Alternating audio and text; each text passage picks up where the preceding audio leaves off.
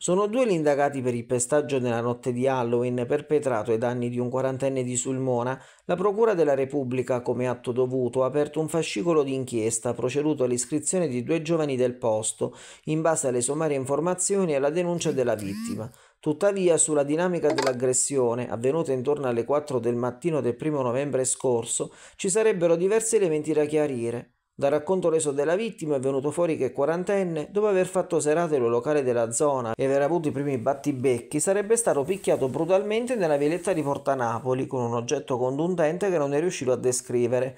A seguito del pestaggio il giovane avrebbe tentato di lasciare il luogo, arrivando fino all'arco di Porta Napoli dove ha chiamato aiuto, contattando il numero di emergenza del 118. È stato quindi trasportato in ospedale dove i medici hanno refertato lesioni giudicate guaribili in 30 giorni e hanno applicato 30 punti di sutura, visti i tagli riportati sul viso e sulla tempia. Non uno scherzo, insomma.